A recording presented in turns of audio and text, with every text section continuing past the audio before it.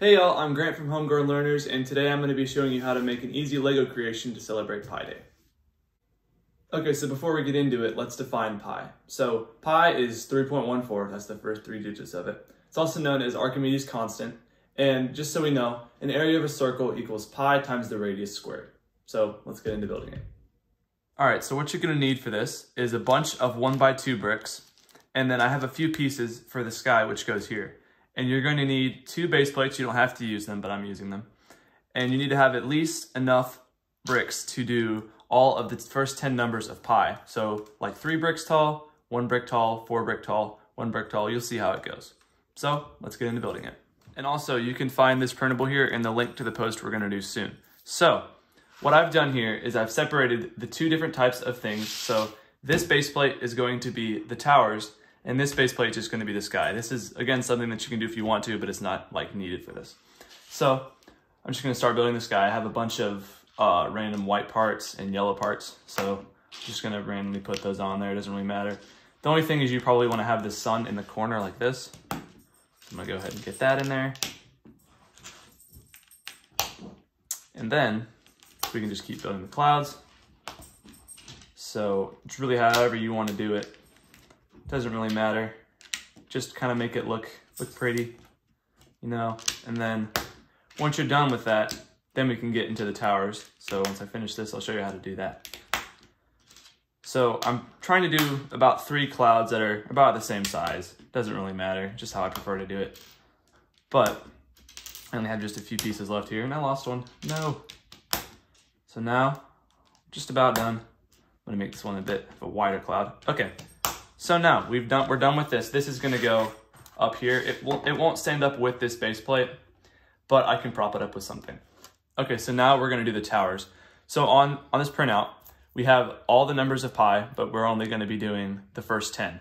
So what I've done is I've gotten these bricks sorted by color. So I have, let's see, I have five reds.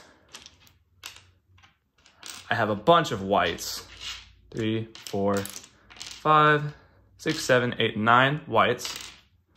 We have five blacks, two grays, three oranges, three greens, one light green, six yellows, four blues, and one light blue. So the first number of pi is three, so we're gonna do three oranges. So I'm gonna do this about two studs back. So one, two, three. Now the next number of pi is one, so light blue, one. Then the next number is four, so I have four regular blues. So I'm actually gonna space this out by two studs. So next one is four. We can get this up. Okay, then the next one is one. So I have a light green. Next one is five, so I have five blacks. One, two, three, no, four, five. The next number is nine, so that's my whites. So then we have one, two, three, four, five, six, no, don't fall, seven, eight, nine. If you have uh, one width on these, it's gonna be tougher for it to stay up, but it, sh it should be okay. The next one is two, so we have two grays. Then the next one is six, so we have yellows. Once again, you don't have to have the certain colors. I just figured it would be better for the purpose of this video to be able to discern between the numbers. Ah, no. Okay, then, after we have six, we then have five. So we have reds. Almost done. Last number will be three, and that's our last number, which is greens. So now we have the pi skyline.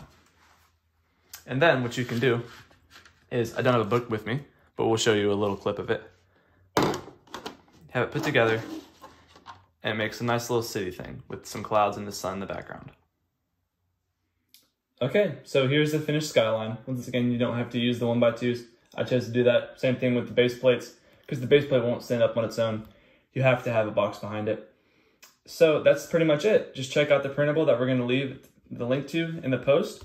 And be sure to check out our other LEGO learning resources. And y'all have a good day.